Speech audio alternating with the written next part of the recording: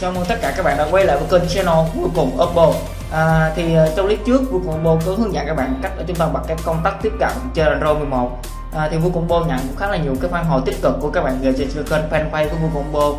À, thì uh, sáng nay cuối cùng Oppo xin xin gửi lời cảm ơn các bạn bạn trong suốt khoảng thời gian qua đồng hành với kênh cuối cùng Oppo à, và bên cạnh đó thì ờ, uh, các bạn những bạn đang sử dụng những phiên bản Android 10 chúng ta không biết cách bật cái công tắc tiếp cận và các bạn đã bật rồi thì các bạn không biết tắt như thế nào. Thì ngày hôm nay vô cùng bộ sẽ hướng dẫn các bạn cách để chúng ta bật và tắt cái công tắc tiếp cận uh, trên máy Android 11 Android 10 và cách bật như thế nào thì xin mời các bạn hãy cùng làm theo ngay sau đây nhé.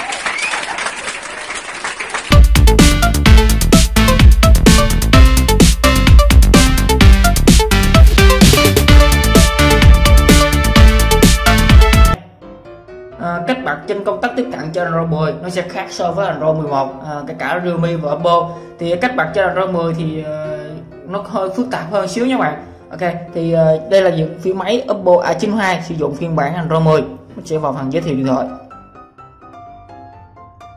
Đây chúng ta sẽ bằng giới thiệu điện thoại. Đây là phiên bản Android 10 à, thì uh, cách bật thì bằng đa phần là sẽ bằng thủ công nhiều hơn. Ok thì uh, để bật tiếp công tác tiếp cận á, các bạn sẽ vào cài đặt này à, chúng ta sẽ tìm về cài đặt bổ sung. Phần trợ năng. Trên đây trên trong phần trợ năng các bạn sẽ là tối lối tắt trợ năng. Và chúng ta sẽ bật là tiếp cận bằng công tắc. Ok. Thế là chưa xong luôn các bạn. À, trên Android 11 thì các bạn bật tiếp cận công tắc nó sẽ hiện cái thông tin là chúng ta cài đặt. Còn trên Android 10 thì chúng ta mới chọn bước đầu thôi. Và chúng ta sẽ thoát lại thoát ra tới cái mục cài đặt. Đây tới mục này. Thì các bạn bấm cùng lúc nguồn vào lâm trừ bấm và giữ cùng lúc các bạn. Đây nó sẽ lên. Đấy, nó sẽ lên là bật tiếp cận bằng công tắc. Ok chúng ta sẽ chọn tiếp cận. Tiếp theo một công tắc. Ok tiếp theo. Ok. Độ trễ 0.7 đây như thế là xong. Thì khi mà các bạn đã bật công tắc tiếp cận rồi thì trên cái thanh các bạn á, không thể nào chỉnh được cái những phím điều hướng ví dụ như là cử chỉ cử chỉ nữa các bạn. À, công cụ tiện ích. Đây nút điều hướng. Các bạn không thể nào uh, vuốt hai cạnh được nè. Nó sẽ báo là điều hướng bằng cử chỉ vuốt hai cạnh bên không được phép bật dịch vụ thích bắt à, các bạn không thể nào được được. Và thứ hai khi mà các bạn bấm volume á thì nó sẽ hiện lên một cái thanh thanh người bên đây nè. À, thêm một cái thanh nữa. Này mà lên xuống lúc này thì các bạn phải điều chỉnh. Đấy, nó sẽ hiện thêm một cái cái một cái thanh thanh ờ, âm lượng. Đó, các bạn cái là người này cái cái tính cái cái hình này con người này là cái phần trợ năng các bạn. Thì có những bạn cũng vào lại cài đặt bổ sung. À, cũng các bạn cũng vào lại trợ năng thì các bạn sẽ tắt trợ năng. Thì các bạn vẫn tình trạng là nó cũng vẫn hiện lên ờ, cái thanh người thanh thanh hình nó bé.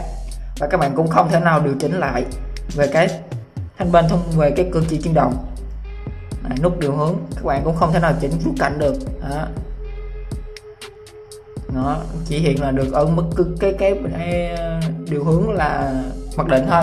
Đó, rất là bất tiện ha. Thì uh, khi mà các bạn đã bật xong rồi thì có nhiều bạn không biết cách tắt. Thì Vocombo sẽ hướng dẫn cho bạn cách để chúng ta tắt được cái công tắc tiếp cận trên Android 10 này. Cách tắt thì nó cũng khá là đơn giản. À, thì các bạn vào lại cài đặt bổ sung hoặc các bạn đã tắt được rồi thì các bạn bấm ngắm và giữ nguồn volume à, bấm và giữ luôn các bạn. Đây. À, thao tác lại nha. Bấm cùng lúc nha các bạn.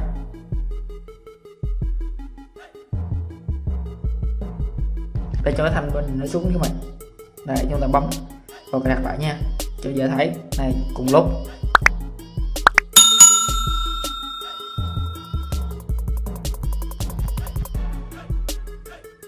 Cài đặt bổ sung.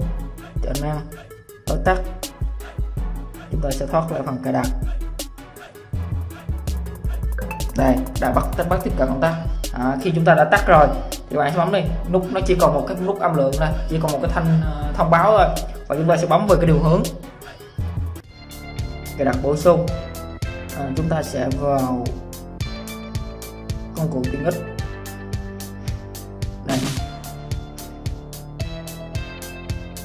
rồi chúng ta đã chỉnh được cái cái điều hướng vuốt nè mà bạn muốn bật lại thì bạn cũng điều tương tự. À, nguồn này chúng ta sẽ bật lại.